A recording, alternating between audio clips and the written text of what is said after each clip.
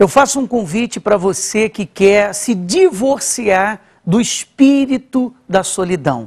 Por causa da solidão, você é infeliz no casamento.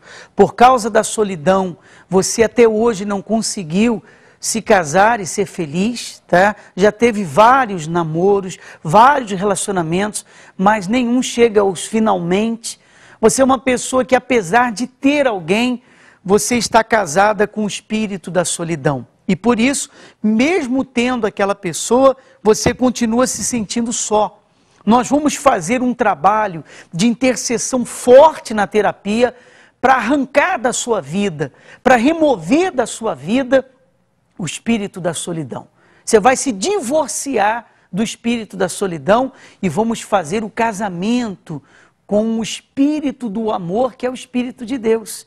Isso estará acontecendo nesta quinta-feira, às três da tarde e às oito da noite, aqui na Zona Sul de São Paulo, Avenida João Dias, 1800, em Santo Amaro.